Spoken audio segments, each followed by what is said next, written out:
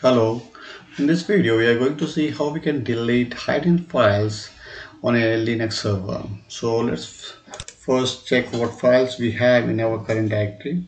So ls minus la and as you can see that there are no files or directory in my current uh, directory. So let me first create few hidden files here. So I will use touch command. So touch dot file 1 dot file 2 dot file 3 so i'm going to create three hidden files here. Now let us confirm what files we have here. So ls minus la. And now we can see that we have dot file 1 dot file 2 dot file 3 so all the dot files are actually hidden files. So if you use just ls command you will see there are no files here. So to list uh, hidden files you use ls minus a command or ls minus la command. So we can see here dot file 1 dot file 2 dot file 3 so how we can delete these files so if we use rm command so rm uh, minus rf star so this is going to delete all the files. But if we use this command this is not going to delete hidden files. So let's confirm this ls minus a and you can still see that file, file 1 file 2 file 3 are there.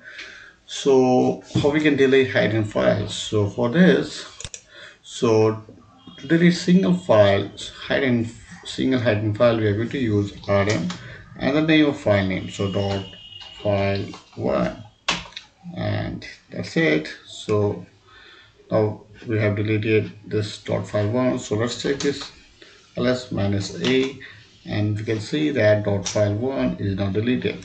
So how we can delete multiple files? For that we're going to use rm and then all the file name dot file 2 dot file 3 so this is this is going to delete multiple files.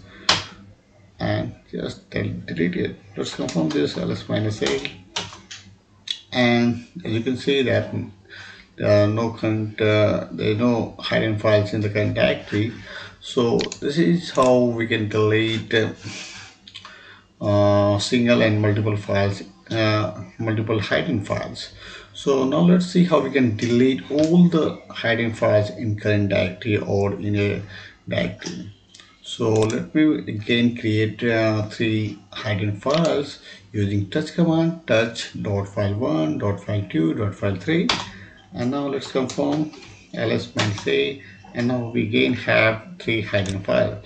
So how we can delete uh, all the files all hidden files? So for that we're going to use rm minus rf and dot star and press enter. And that's it. Let's confirm this ls minus a. And now we can see that all the hidden files were deleted so this is how we can delete single hidden files multiple hidden files and all hidden files in the directory. Thank you